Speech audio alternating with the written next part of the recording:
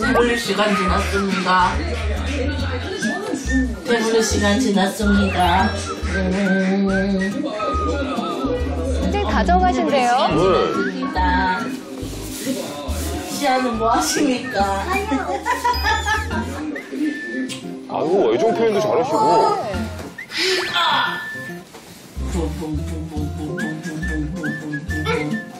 엄마 꼭 붙어 있네요. 그러게. 아, 지지! 엄청 다정한데.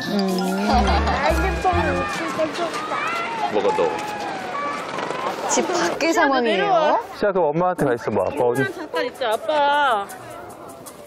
타봐 시타 타봐 근데 이- 이거 자전거 아니라서 아빠 못 잡아주는데? 아니 좀 전까지 집에서는 엄마 꼭 붙어 있었잖아요. 아까 나 넘어져도 여기 아프트인데 지금 괜찮아. 아까 나 넘어져도 여기 아프트인데 지금 괜찮아. 엄마는 싫냐?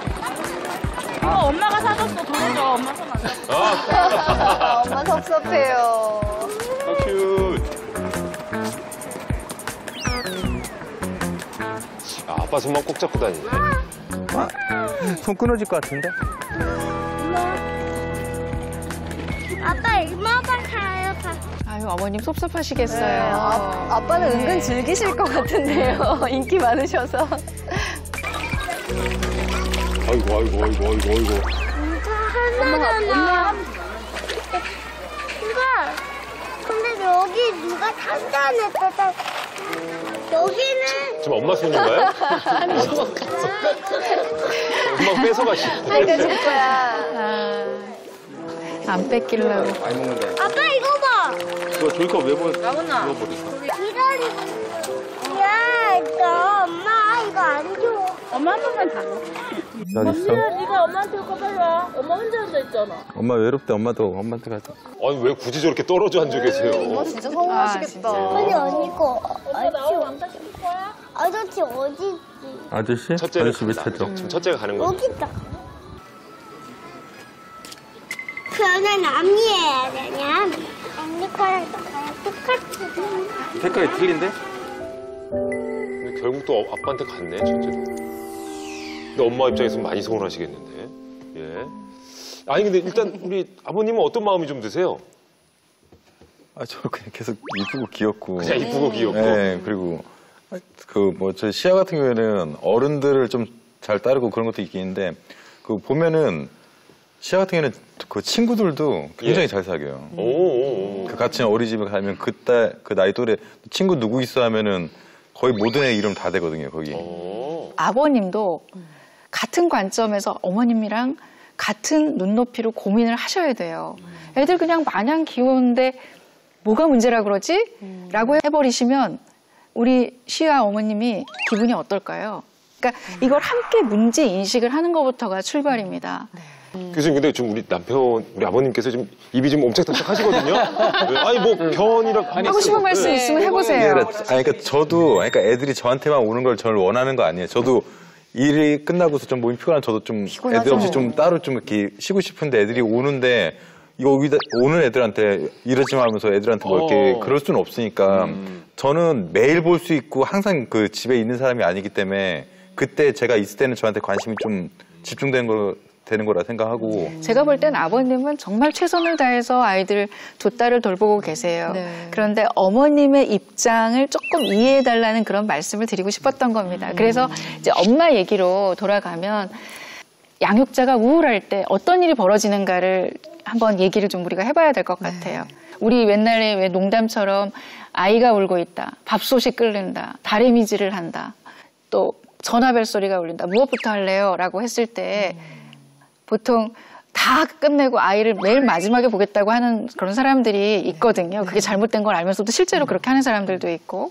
그리고 실제로 아이가 울면 너무 지치고 힘들어서 방문을 닫고 자기 할 일을 하는 엄마들이 있어요. 너무 힘드니까. 그러면 안 된다는 걸 알면서도. 그게 뭐냐면 자기 문제가 해결이 안 돼서 그래요. 애들을 돌보고 싶은데 자기가 너무 에너지가 딸리고 너무 화가 나는 거예요. 애들 목소리, 애들 울음소리만 들으면. 그래서 방임하게 되는 거예요. 그냥 방임하는 게 아니에요. 애들 다 사랑하죠. 근데 자기가 너무 힘들어서 방임하게 되는 거거든요.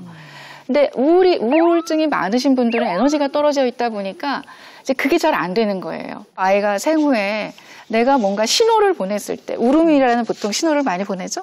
신호를 보냈을 때 즉각 달려오는 경험을 많이 늘 하는 아이와 늘 자기가 뒷전이고 즉각 즉각 자기가 수용되는 경험을 하지 못했던 아이들은 이제 달라지게 되는 겁니다.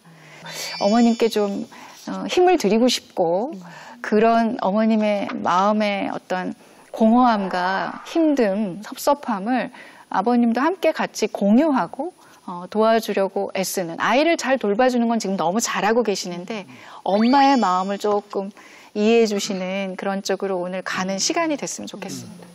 예. 아, 저는 아까 이제 영상을 보면서 이제 아무래도 좀 직업이 또 이렇다 보니까 이제 말에 대해서 굉장히 좀 주의 깊게 음. 봤는데 우선 우리가 이제 아까 산후우울증 얘기를 청 교수님께서 해주셨는데 우울하다는 것은 어떤 생각이 끊임없이 내 안에 올라오는 거거든요. 그런데 지금부터 그 생각 하지 마세요. 지금부터 그 감정을 느끼지 마세요. 시작한다고 해서 이게 변화가 되질 않는다는 거예요. 그런데 우리가 바로 변화할 수 있는 게 그런 과연 뭘까를 보면 행동하는 거. 그러니까 여기서 저기까지 한번 갔다 와보세요 하는 건 할 수 있잖아요. 어떤 마음이든 어떤 생각이든. 그리고 한번 지금 말을 이렇게 한번 해보세요 하는 거는 해볼 수가 있잖아요. 그래서 아이하고 이제 엄마가 이제 음, 어, 외부에서 같이 가실 때 제가 들었던 말이 어, 그 장난감 엄마가 사줘서 도로 줘 이렇게 얘기를 하셨잖아요. 그리고 나만 왕따 시키는 거야 이렇게 하셨잖아요. 그런데 나만 왕따 시키는 거야라고 내가 말하고 있지만 그걸 내가 듣잖아요. 그러면서 이게 사실처럼 되면 또 우울해지거든요. 그래서 저는 우리 어머니께서 만약에 그때 엄마도 우리 딸 손잡고 싶어. 엄마도 우리 딸이랑 같이 이렇게 좀 스킨십 하고 싶어. 원하는 걸 좀 말해봤으면 어떨까. 집에선 굉장히 엄마랑 살갑게 잘 지낸다는 느낌이었거든요. 근데 밖에 나가면 그러는 거에 대해서 진짜 속마음은 어떠세요? 속상하죠. 속상하고 제가 어, 어떤 아이들한테 어떤 영향을 주고 뭐가 부족해서 아이들한테 저한테 이렇게 대, 대하는 것과 이런 고민이 좀 많이 하게 돼요. 그래서 그 속마음 이야기를 한번 들어보려고 합니다. 속마음이 잘 보이면 잘 풀릴 것도 같거든요. 함께 만나볼까요? 그거 이렇게 해야지. 가운데 거 오랫동안. 오, 시, 시작. 칼, 오. 엄마가 뭐랬어? 아주 혀, 돼. 너 혈압 모르게 해. 엄마 자꾸.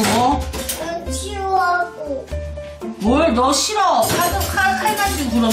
치워하자면 엄마 시아야, 사랑하는데 시아가 위험한 거는 어, 못하게 할 수밖에 없어. 어, 이런 표현 괜찮죠? 좋아요. 떠나고 싶어요. 떠나고 싶어. 벌써 독립하고 싶은 거야? 어디로? 어디로 따라고 싶어?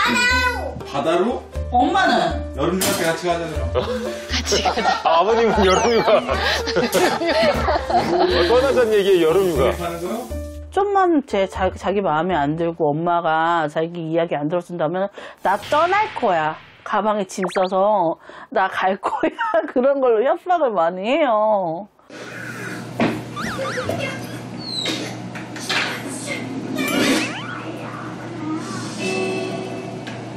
어? 동생은 동생 밥안 먹어요. 동생 밥 뺏어 먹는 거야? 아, 동생 밥 먹는 거예요? 봤어, 이제 봤어요, 지금. 어머니도 내 부산 먹었다 안 먹은 거 아니야?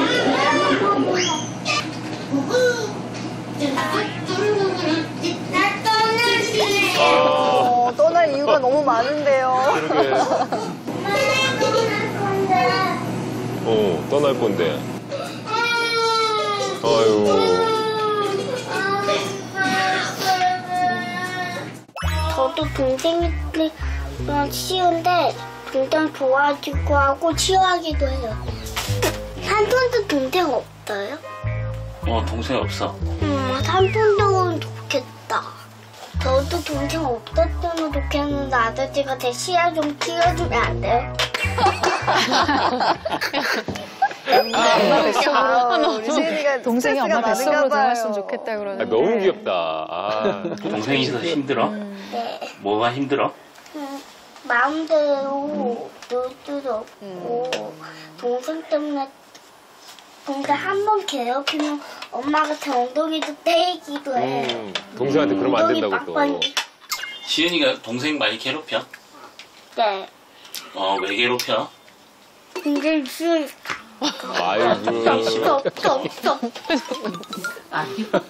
저희는 의리로 살아요, 아이들. 아, 왜 여기 두 분은 또 갑자기 왜 그래? 대화는 솔직히 그렇게 많이는 안 해요. 그냥 기본적으로 와갖고 그냥 애들에 관한 거라든가 어, 뭐 시윤이 뭐 애들 뭐 뭔 일 있었어 뭐 그런 거나 지금은 그러니까 몇 년을 살다 보면 알잖아요. 그러니까 부부 사이가 이제 약간 뭐 동, 동지 같이 이제 애를 키워가기 위한 가- 파트너 그래서 오빠도 다 그러려니 하고 살고 나도 그러려니 하는 사는데 어 이제는 내가 지쳐요 이제. 제가 지쳐요. 왜냐하면은 나도 기댈 것도 필요하고 나도 의지할 것도 필요하고 애들끼리 오늘 오면은 애들끼리 오늘 이것 때문에 싸웠어. 나 너무 힘들어. 근데 음, 이렇게 기댈 기댈 때가 너무 없어 그럼요. 엄마들 얼마나 힘든데요. 그러니까 우리가 저기 얘, 얘기를 많이 안 하는 게 그거 같아. 그냥 얘기를 하면은 다툼이 좀 생기고 그러니까, 그러니까 의견 차이를 있는데 그런 의견 차이 때문에 목소리가 높아지고 서로 감정이 격해지니까 그것 때문에 차라리 그냥 그 얘기를 말을 좀- 하지 말자 얘기를 하지 말자 근데 그렇게 되더라고 이게. 그러니까 뭘 얘기를 하면은 거기에 대한 뭐 아, 좋다 싫다 이런 피드백이 들어와야 되는데 하면은 중간에 말을 그냥 중간에 끊어버리고 다른 얘기를 해보니까 아 이 사람하고 대화를 하면은 난 계속 내 무시당한 느낌이 계속 들, 드니까 얘기를 난 계속 못하게 되고 나는 거의 그였어 그냥. 근데 오빠는 오빠 나랑 무시한다고 하지만 오빠도 오빠 나랑 날다 무시하고 있어. 오빠는 나랑 미래를 생각을 안 해. 그럼 난 오빠랑 살 의미가 없어. 난 지금 잠깐 애 키우는 애 엄마? 나중에는 애들 중학교 고등학교 되면 우리 이혼해. 아니 이혼하자는 게 아니라 나중에 좀 서로 편하게 살자 이거 이거 그게 이혼이지. 그때 이혼하자는 게 아니라 그러니까 그러니까 그 주- 뭐 아니면 뭐 좀 떨어져 주말부처럼 살아도 되고 아니 사람이 부부가 뭐야? 함께 하는 거야. 오빠는 진짜 참 이기적인 게 부부는 아이들을 키우는 것도 있지만 나중에 대한 미래 그것도 같이 생각하는 거야. 노후도 같이 생각을 해야지 내가 오빠의 어느 정도 믿음을 가고 위지를 하고 그렇게 살지. 아니 나는 무조건 이혼하자 아니 그러니까 나는 이혼이 이혼이 내 그 종착점이 아니야. 오빠는 딱 오- 나는 나야. 너는 너고. 그런 거잖아. 하지면 안 되는데. 어 근데 그게 그렇게 나쁜가? 무책임한 거지. 피디님 봐봐. 피디님은 나중에 지금 애기를 키우고 야, 이번 촬영에 아주 고생이 많으시네. 나중에 노후에 어떻게 생뭐 하세요? 아이고. 노후 하세요? 노후 때. 노예 어. 오순도순 잘 살아야죠. 오순도순. 눈치 없다. 저기서 오순도순 잘 산다 그러면. 아 근데 그러니까 이렇게 생각하시는 분들 그러니까 사람이 아니 그러니까 노후에 대해서 애들 크면은 손 어느 정도 안 갔을 때 서로 따로 남 그냥 또 서로 편하게 살자. 그게 노후인가요? 끝났어요. 우리 우리는 이러다 이러다가 더 싸워요. 부부 산다면 아니라 부부 좀 다툼만 되네 그냥. 이제 여기서 끝. 야, 아니.